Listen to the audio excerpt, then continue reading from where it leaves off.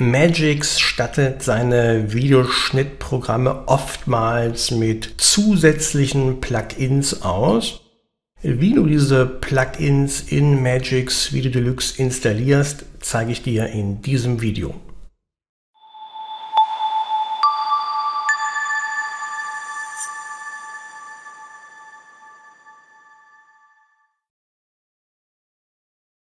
In diesem Video zeige ich dir, wie du in Magix Video Deluxe Plugins installierst. Ich zeige dir das am Beispiel von ProDAT Weiterscene V5. Der hier erläuterte Installationsvorgang ist aber auch auf alle anderen Plugins anwendbar. Das Prinzip ist immer das gleiche, egal ob es sich um Plugins von ProDAT oder beispielsweise von NewBlue handelt.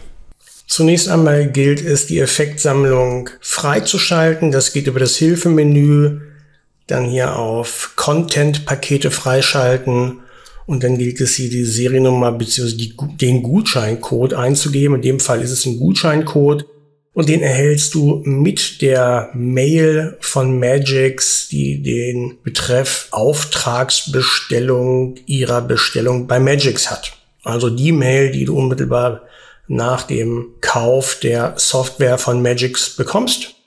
Da steht, wenn du die Premium-Version gekauft bzw. abonniert hast, am unteren Ende der Mail der Abschnitt Gutscheincode und diesen Code, den kannst du hier einfügen.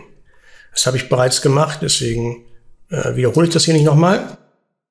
Wenn das so ist, dann kannst du hier in das Register Effekte wechseln und hier findest du dann im Bereich Zusatzeffekte diesen Eintrag zunächst einmal vor.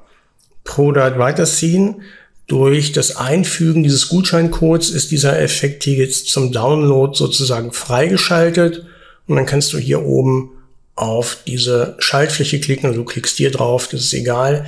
Dann wird die Software dieses Plugins runtergeladen und du kannst das dann über einen klassischen Installationsdialog installieren und so zwei, drei Klicks. Und wenn das Ganze geschehen ist, dann taucht dann an dieser Stelle eben Product weiter Scene auf. Ja, dann sind wir auch schon am Ende dieses Videos. Ich hoffe, dir hat das Video gefallen. Wenn dem so ist, würde ich mich über einen Daumen hoch freuen. Und falls noch nicht geschehen, würde es mich natürlich auch freuen, wenn du meinen Kanal abonnieren würdest. Ja, dann bis zum nächsten Mal auf diesem Kanal.